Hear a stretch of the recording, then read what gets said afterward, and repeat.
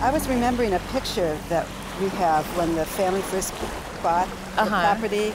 They're all on the shore. That's right. Hemingway's a baby. That's And I was trying to imagine exactly where that picture would have been Right. taken in this whole. Then there are pictures of the kids here with uh, in a canoe, and then Ernest and his sister Marceline splashing around in the water. Grace even made that into postcards to send letters to the family. Ernie said this was also the family bathtub too. Oh, right. yes, uh, the outhouse in one Uh-huh. direction and the bathtub this way at the Very lake. fitting.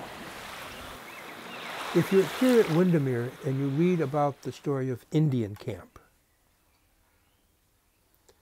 and you really want to know where Indian Camp is,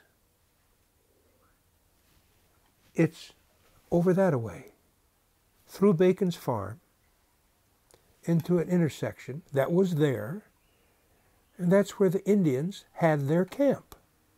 Now, is that the Indian camp where the husband slit his throat because of his wife screaming for the birth?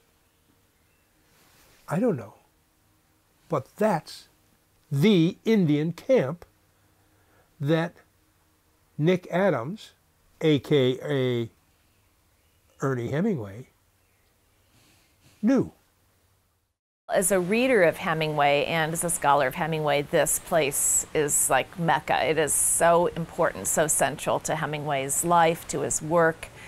Uh, so to be here is, is amazing. And it's interesting because you read about these place names in Hemingway's work Charlevoix, Horton Bay, Walloon Lake, The Point.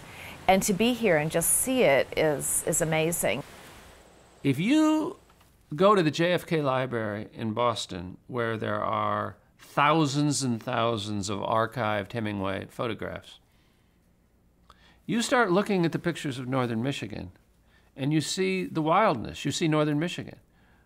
But then it begins to occur to your imagination oh my goodness, there's a lot of stumps, there's a lot of vacantness, there's a lot of open fields. What is that about? That is the reality of the Michigan that Hemingway was experiencing. In his invented imagination, he wanted it more, more pristine, more, more grown up with trees. A better understanding of Ernest Hemingway's life and literature is now possible thanks to the Hemingway Letters Project at the Pennsylvania State University. Letters are interesting and important because they enrich our understanding of Ernest Hemingway, who, because of this big public personality that he had, sometimes that, that caricature, that persona, overshadows uh, the real personality and it overshadows uh, his work as well. But the letters allow us to see him uh, in a full range of, of moods, situations, For scholars as well as general readers interested in Hemingway, it gives us a new Hemingway, uh, one that maybe uh, steps apart from the stereotype of Hemingway that emerged early on when he was recognized for his writing in The Sun Also Rises, a work that in 1926 made him immediately popular uh, to a wide reading audience. So the publication of these letters is really important because it's beginning to show us already with the publication of Volume 1 a more tender Hemingway, uh, Hemingway who was above all a writer. He lived to write.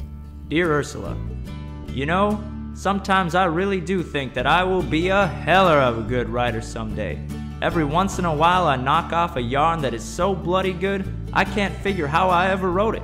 I'll bring the carbons down to show you all. Everything good takes time, and it takes time to be a writer. But by gad, I'm going to be one someday.